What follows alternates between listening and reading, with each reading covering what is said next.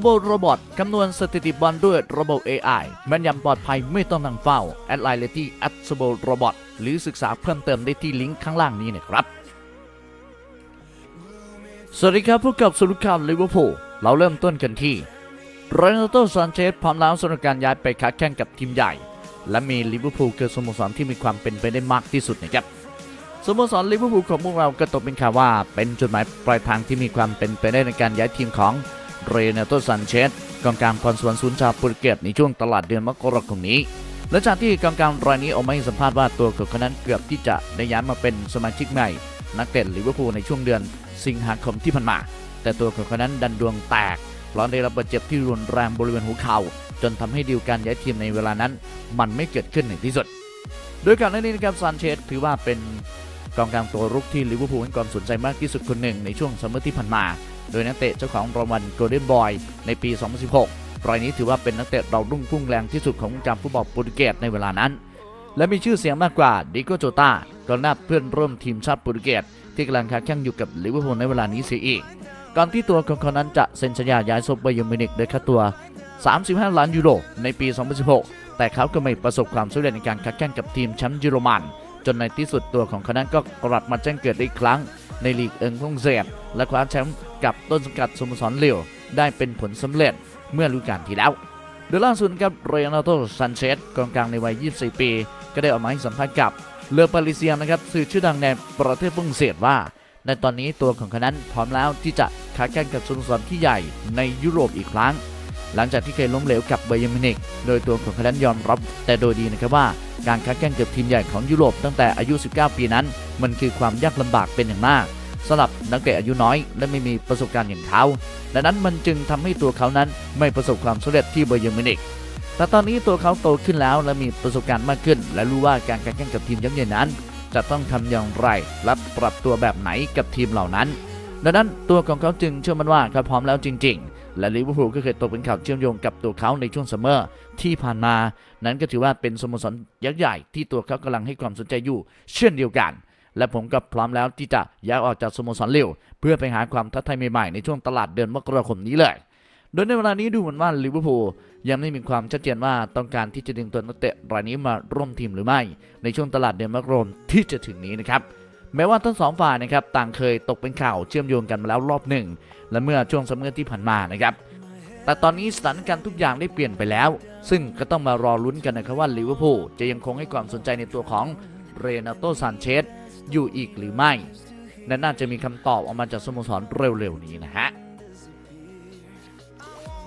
ก่อนโซชาโดนปลดโจชัวคิงเปิดเผยลิเวอร์พูลมีส่วนเกมวัตฟอร์ดชนะแมนยูราบคาบ หัวหอกวัตฟอร์ดไม่เกรงใจแมนยูทีมเก่าเลยนะฮะ เปิดเผยว่าลิเวอร์พูลมีส่วนสำคัญเลยนะฮะ กับการเก็บชัยชนะแบบขาดลอยในศึกพรีเมียร์ลีกในนัดล่าสุด ก่อนโซชาจะโดนปลดโจชัวคิงนะครับให้สัมภาษณ์ผ่านเว็บไซต์ของวัตฟอร์ดสโมสรต้นสังกัดของเขา หลังเขาทำได้หนึ่งประตูในเกมพรีเมียร์ลีกเกรดในนัดล่าสุดนะครับที่เปิดบ้านถล่มเอาชนะแมนเชสเตอร์แบบขาดลอยสี่หนึ่งเมื่อวันเสาร์ที่ 20 พฤศจิกายนที่ผ่านมา ซึ่งก็นำไปสู่การปลดโอเลกุนนาร์โซลชาออกจากตำแหน่งผู้จัดการทีมปีศาจแดงในเวลาต่อมา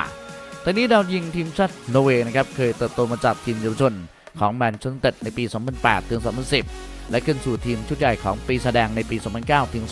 2003 แต่มักจะถูกปล่อยให้ทีมอื่นยืมตัวไป ก่อนที่จะย้ายแบบถาวรไปอยู่กับแบล็กเบิร์นโรเวอร์บอร์นมัธ เอเวอร์ตัน และมาลงเอยที่วัตฟอร์ดครับ โดยบทสัมภาษณ์ล่าสุดของโจชัวคิงนะฮะ ก็ได้พูดถึงเบื้องหลังที่ทำให้วัตฟอร์ดชนะแมนเชสเตอร์แบบราบคาบว่าเคลาดิโอรานิเอรี่กุนซือชาวอิตาลี ได้นำคลิปวิดีโอจากเกมแดงเดือดที่ลิเวอร์พูลบุกไปถล่มปีศาจแดงแมนเชสเตอร์คาถิ่นโอลด์แทรฟฟอร์ด เมื่อวันที่ 24 ตุลาคมที่ผ่านมา เปิดให้นักเตะได้ดูกันทุกคน เพื่อศึกษาวิธีการบีบพื้นที่ เข้าไปกดดัน และเล่นงานคู่แข่งนำไปสู่ชัยชนะแบบท่วมท้นในที่สุด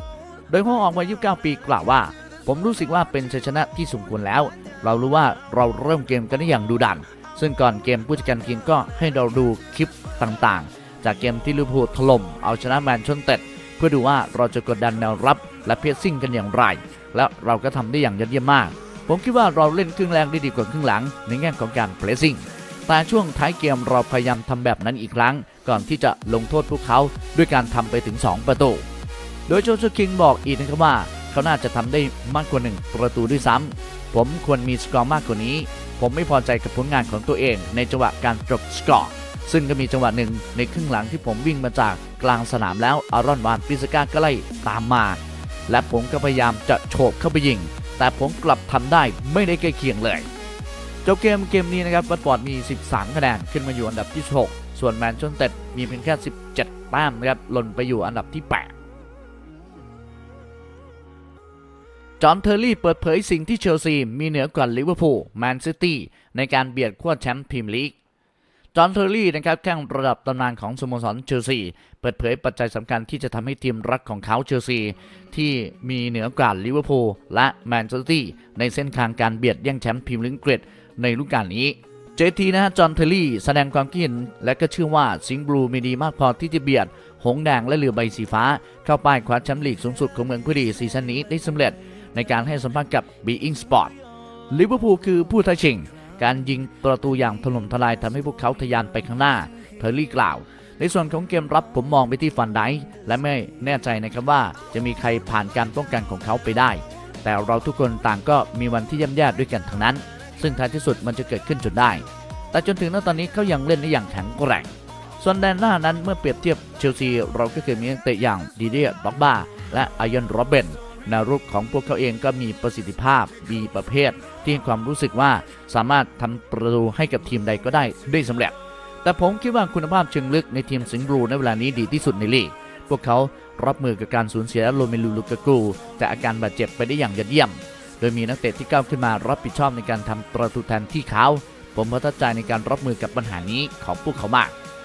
แต่การได้ลูกากูกลับมาลงเล่นในช่วงก่อนคริสต์มาสก็นับว่าเป็นแต้มต่อของเราเลยล่ะครับเทรนต์อเล็กซานเดอร์อาร์โนลด์ตั้งเป้า assist ในพรีเมียร์ลีก 15ถึง20 ประตูเทรนต์นะครับตั้งเป้า assist ในพรีเมียร์ลีกให้ได้ 15ถึง20 ประตูให้ได้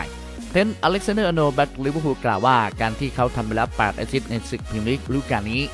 และก็ยังเชื่อมั่นว่าตัวเองจะทำได้ดีกว่านี้อีก และ ต้องการที่จะทำลายสถิติต่างๆ ให้มากเท่าที่จะมากที่จะทำได้ และที่สำคัญอยากจะสร้างประวัติศาสตร์หน้าใหม่ เอาไว้ในขณะที่ยังเล่นฟุตบอลอยู่อย่างไรก็ตามต้องทุ่มเทอย่างหนักเพื่อเทียมและการฝึกซ้อม และเพื่อให้มั่นใจได้ว่าจะคว้าชัยชนะให้ได้ เพราะแชมป์เป็นสิ่งสำคัญที่สุดสำคัญยิ่งกว่าเกียรติยศส่วนตัว และต้องตั้งเป้าหมายส่วนตัวเอาไว้ด้วยครับผมตั้งเป้าว่าจะทำผลงานต่างๆ ให้ดีขึ้นกว่าเดิม 2 เท่า และผมก็ทำได้แล้ว ผมจะทุ่มเทให้มากที่สุดเท่าที่จะทำได้ และอาจจะ assist ให้ได้มากถึง 15-20 ในศึกพรีเมียร์ลีกต่อหนึ่งฤดูกาลเทรนต์อเล็กซานเดอร์อาร์โนลด์กล่าวนี่คือสรุปข่าวลิเวอร์พูลครับ ซึ่งเป็นรอบเช้านะครับของวันที่ 23 พฤศจิกายน ขอเชิญแฟนๆนะครับร่วมเป็นส่วนหนึ่งในการเชียร์สโมสรลิเวอร์พูลสโมสรที่ทุกท่านรักไปกับชายผู้บ้าคลั่งลิเวอร์พูลและ The Kop แฟนบอลพันธ์แท้ เรามาเป็นส่วนหนึ่งในการร่วมเชียร์สโมสรที่เรารักไปด้วยกันนะครับ แล้วก็อย่าลืมนะครับ กดกระดิ่งและกด Subscribe เพื่อเป็นกำลังใจให้กับทีมงาน ชายผู้บ้าคลั่งลิเวอร์พูลและเดอะกอฟแฟนวันพันแท้ที่สำคัญนะครับ มือน้อยๆของผู้ท่านมีค่ามากมายต่อพวกเรานะครับอย่าลืมนะฮะ กดแชร์ให้เพื่อเป็นกำลังใจให้ด้วยนะครับ แล้วก็กลับมาพบกันใหม่ สวัสดีครับ